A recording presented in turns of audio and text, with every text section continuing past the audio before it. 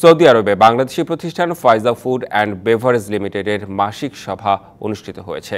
রিয়াদ থেকে S H Hemayet জানান, রাজধানী রিয়াদে প্রতিষ্ঠানটির ব্যবস্থাপনা পরিচালক মমিনুল ইসলাম রবির সভাপতিত্বে অনুষ্ঠানটি পরিচালনা করেন ফারুক খান। এতে প্রধান অতিথি ছিলেন Madar Al Qadisiya Trading Company ও আরবিড ফুডস লিমিটেডের পরিচালক আশফাক পোলানি।